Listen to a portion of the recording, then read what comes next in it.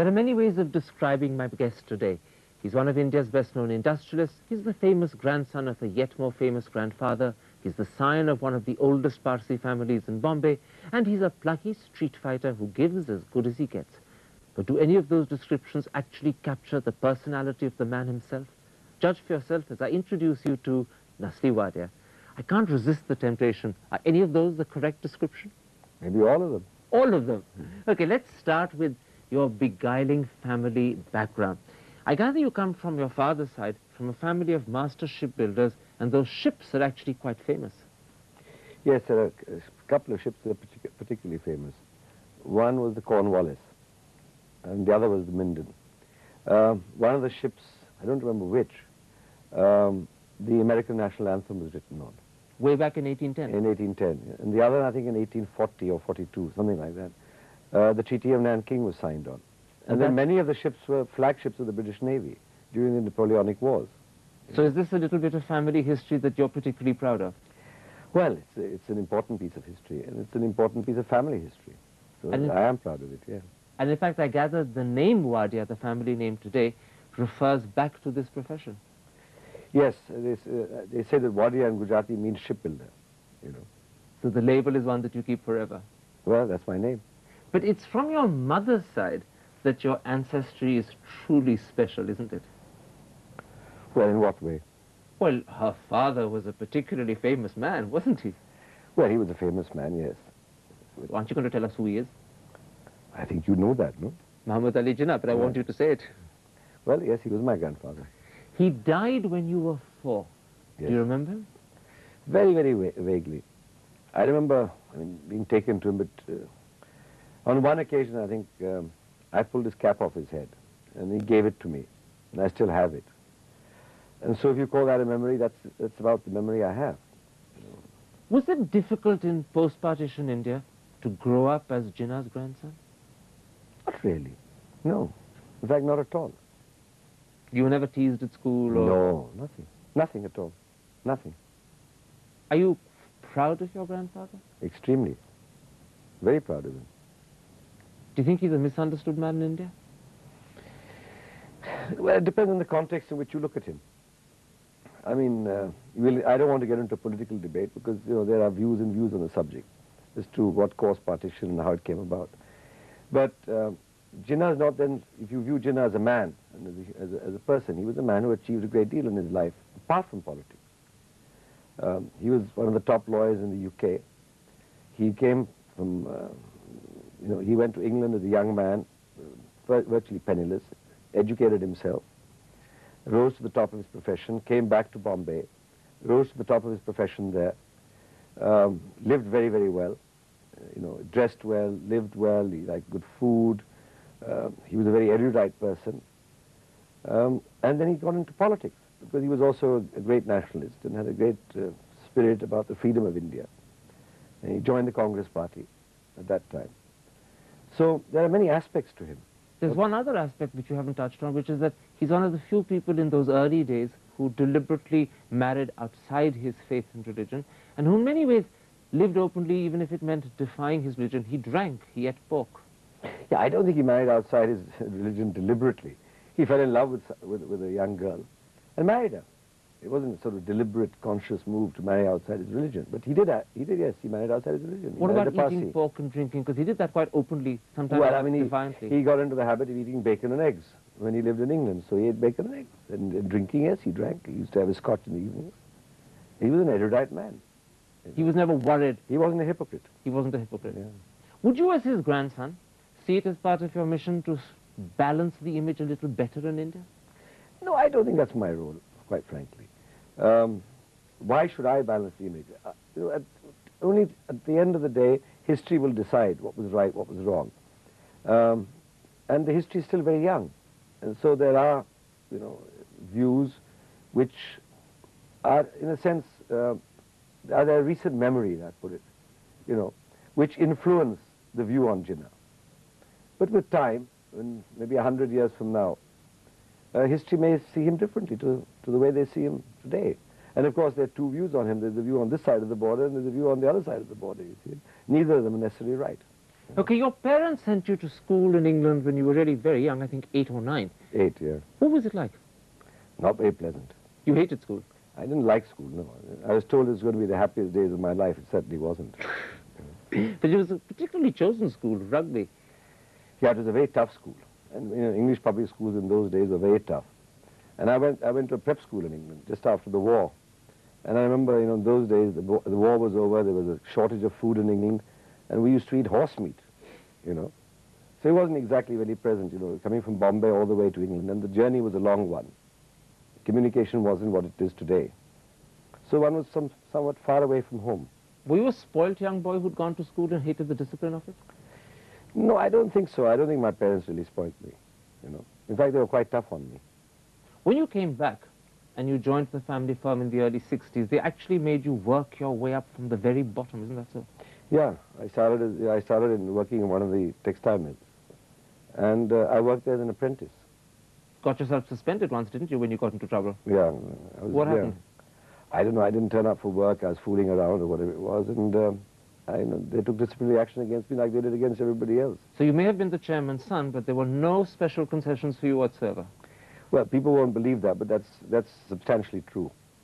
In the 70s, your father thought briefly once of selling Bombay Dyeing, and you had to fight him to retain the company. No, I didn't fight him. My father had a view that, you know, at that time taxation was at a very high level. Um, tax, I think, in India was something like 97.5% on the income and 8% wealth tax. And he thought it was better to migrate and live abroad. Um, he was not willing to sort of, uh, you know, go down the wrong route in a sense. And so he said the best thing is to migrate and go and live in a country which is more, you know, um, so say conducive. And I didn't agree with him, and I was able to talk him out of it. Odd, because although up to then you'd lived most of your life abroad in school, nonetheless, when he chose to go abroad, you consciously chose to identify yourself with this Yeah, country. I, I never wanted to live anywhere else but in India. I mean, I had no, you know, I had, in fact, I was, I, I felt only at home here. And the other thing was I didn't want to be a second-class citizen somewhere else. You know, I, okay, you would have had some money, but what else? You know, this during, is that, my country. during that period when you were, in a sense, trying to persuade your father not to sell the company, someone who supported you very effectively was J.R.D. Tata. Well, J.R.D. Tata understood why I didn't want to do it. And J.R.D. and my friend, father were good friends. Um, and I think, helped in sort of influencing my mind. Um, not on the issue of the sale, but just generally. Virtually was one of the great influences on my life. Were you very close to him? Yes, I was very close to him in the sense that, uh, very emotionally and, and, you know, personally close to him, yes. Not in the business sense, necessarily. People say that he looked upon you as the son he never had. Well, we were very close, and I think he gave me a great deal of affection, and I learned more from him than I think I've learned from anybody in my life. Um, and quite frankly, I just adored the man. So, you know, to, For a long time, Sunday lunches were always had with him, weren't they? it wasn't Sunday love. We used, to, we used to have coffee on Sundays or beer on Sundays. You used to say, either come for beer or coffee. And we sit and chit-chat, and we do that almost at least three, two to three times a week, a month. The funny thing is that there was someone else that you were very close to as well, and he was almost the opposite in every way of J.R.D. Tata, Ramnath Goenka. He was a, the absolute diametric opposite to, uh, to, to Jay, absolute diametric opposite. But he was another extraordinary person, you know, great nationalist, wonderful man, a man who stood by great, his principles and what he believed in, very, very strongly proud of being an Indian, as was Jay, you know. Jay Tata was a very, very strong nationalist. I mean, I've seen Jay Tata literally with tears in his eyes saying, you know, I wish we can change the economy of this country. I wish we can develop and get away from the socialism. And Jay used to fight with the government in those days. People the line can, that they were taking. people can easily understand how you were close to J. Tata because in so many ways you look and sound the same. But what brought you close to Ramnath Goenka? When I first met Ramnathji, uh, just at about the time of the emergency, and um, I became very friendly with him during the emergency. And in those days, it wasn't too, uh, I don't think it wasn't too conducive to be seen with him. So I used to go and have lunch with him quite often. And um, he was a very courageous man. He's a man I greatly admired. And then we became close friends. There was a point in time when he was going through a bad patch in the 80s when he actually trusted you almost with the shares of his company. Is that right? No, it wasn't trusted. Well, Ramnathji um, was by that time quite old. And he was trying to decide what to do with the Indian Express uh, in terms of its future. And he just left the shares with me physically. I mean, just like he would leave them in a bank or something. You know, it was not. They weren't, But they he left the forms blank so that you could fill in whatever name you thought right. And he, No, no, no, no, not what I thought right. He, he gave me, he, he told me what his wishes were at that time. And he left them there with me. in case something happened to him. In case something happened to him. So he trusted you enough to believe that you would do what he wanted, even if he wasn't there to enforce it. Well, I presume so, yes. I mean, otherwise he wouldn't have done it. And the amazing thing is there is a, yet another close friend in your life, again a very different person to you, Nanaji Deshmukh, who is in fact an RSS leader. Now, how did you get close to him? Because again, you're polar opposites. And Nanaji and I met in 1966, and we became uh, very good friends. I was, what, at that time, uh, 22 years old, 23 years old. And uh, Nanaji was another person who was a man of enormous integrity, enormous sincerity, one of the wisest people I've ever known.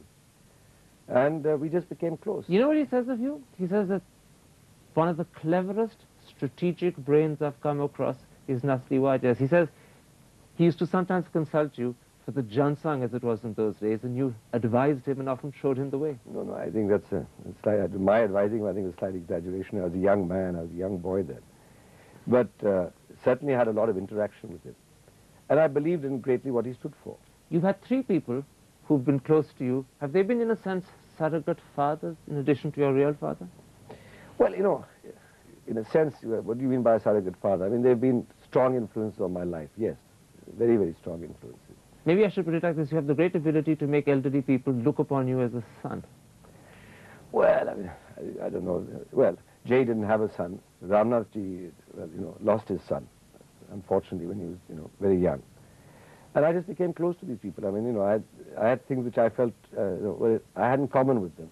And I learned a great deal from them. The funny you know. thing is they're very different to each other, and most of them are very different to you as well. No, Nanaji, Nanaji and uh, Ramnath Goenka were very, very close friends. So both of them very different to JRD. Yeah, and Nanaji and JRD became very good friends. Are you the link between the two? Well, I introduced them. In fact, at one point of time, Jay said to me, well, they're RSS people, you know. And of course, the minute he met Nanaji, they became friends. Because Nanaji is that sort of a personality. So one of the things you've done is to bring together disparate people because you've been their common link and friend. Well, in a sense, yes. I mean, the, linkage between these people were really, was, was me in that sense, yes. I mean, I was a friend of Ramnathji, I was a friend of, of Jay's. Jay and Ramnathji became friends to me, in a sense. Okay, let's take a break. I want to come back in part two and talk about something else that the world knows about you, as I described it at the beginning, the street fighter, to see whether that's really true or whether people have overdone the image. We'll be back in just a couple of moments. Stay with us.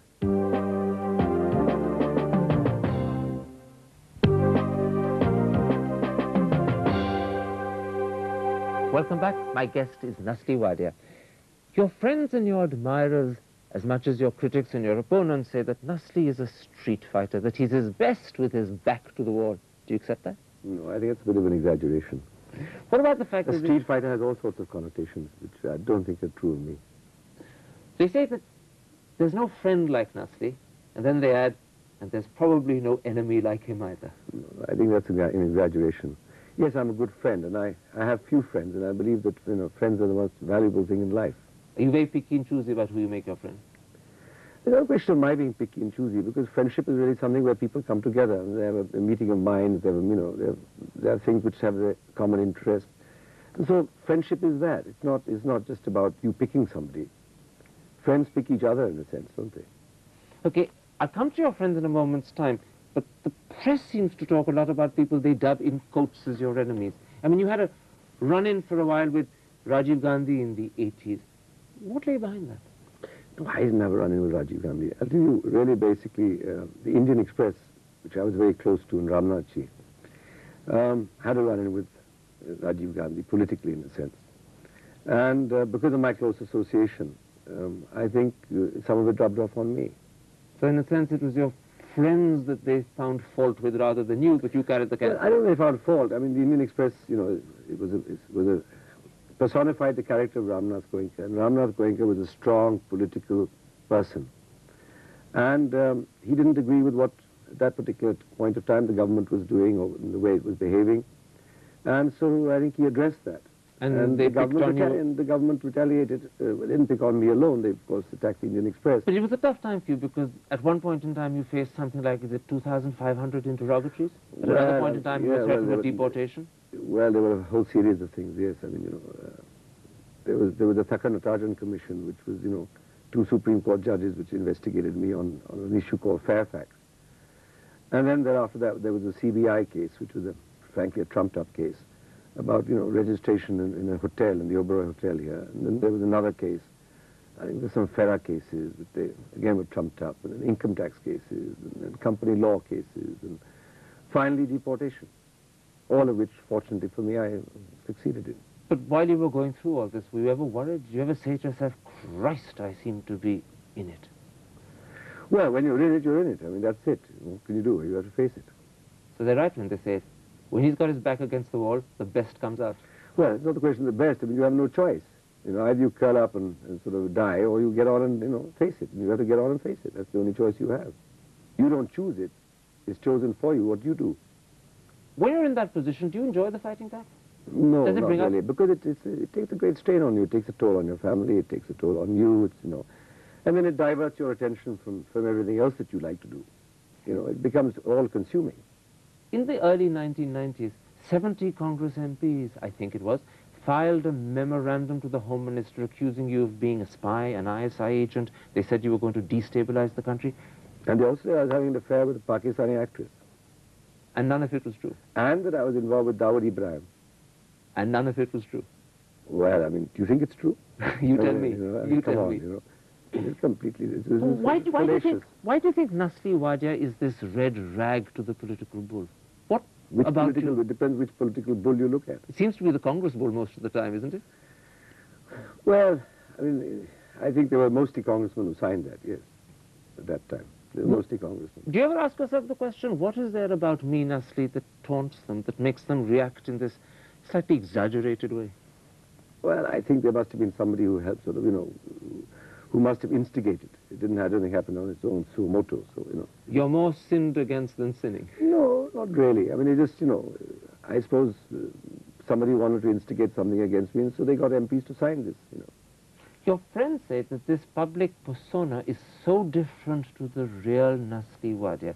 I'm told that, in truth, you're a very private man. Yeah, I'm not very social. I mean, you don't see me at cocktail parties and dinners, and, you know, I'm not, I'm not one of those people who sort of socializes a great deal. It's, it's a weakness, you know, in a sense. Hard to believe that of Maureen Wadia's husband, isn't it? No, not really, because Maureen also is very private. I mean, we don't, you know, we don't, we have a few friends. We like to spend evenings with our friends, you know, um, enjoy the company of people, you know, rather than sort of socialize on a, on a, on a big scale. And that's not necessarily a strength. I mean, you know, it, it, it creates an impression that you're inaccessible, which I'm not, but it, it's, and, you know, snobbish, which I'm not. It's, it's just the way I am. I like to, you know, I like to go home and watch a movie, relax, you know, rather than go partying. One of your great hobbies is watching movies. I believe you have your own home theater. Well, I have a small home theater, yes. It's one of my extravagances because I love movies. And so on the weekends, I, you know, that's what I do most of the time, watch movies. And a couple of decades ago, some of the time you used to watch them with a person called Atal Bihari Vajpayee. No, I think that's a gross exaggeration. I, I through Nanaji, I met Atalji about, uh, about 1967. And sometimes he'd come to Bombay and I'd invite him like I would Nanaji to come and have dinner. And sometimes he'd say, let's, you know, let's go and see a movie together. So we'd go and sometimes see a movie together. You know, I remember we went and saw a movie called Patton together. Several he- times. No, no, I think just uh, twice, yeah, which he enjoyed very much.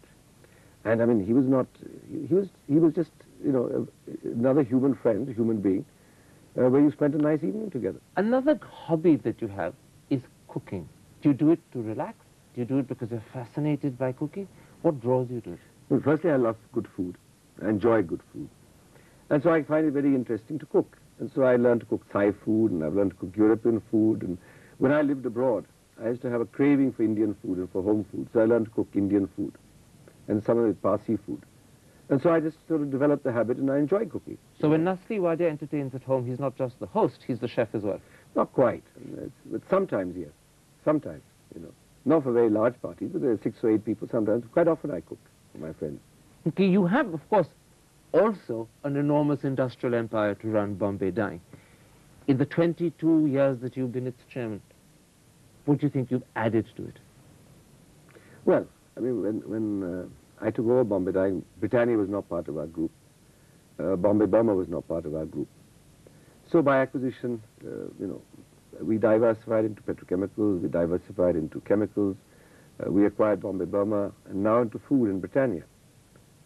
So uh, I don't think I've done as well as many people have done, but uh, I've chugged along somehow. I mean, to be honest, since you're here, many of your closest friends who are your admirers say that if Nusli had focused a little bit more on the company rather than a lot of the other things that he's driven to do, maybe he would have made Bombay Dyeing much bigger. But that's probably possibly a fair comment, you know. That's probably a fair comment.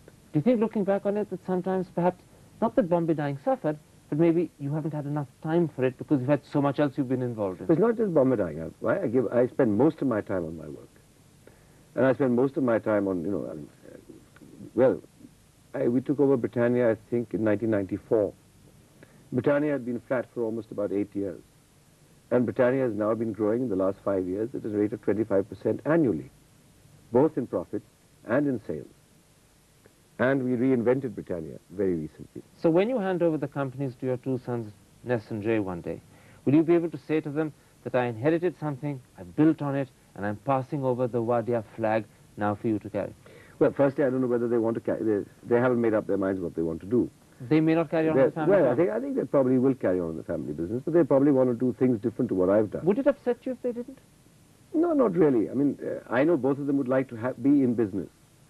And uh, one of my sons is very interested in, in, in the IT and communications and media business. The other son is, you know, interested in logistics, and he's more inclined towards the existing businesses.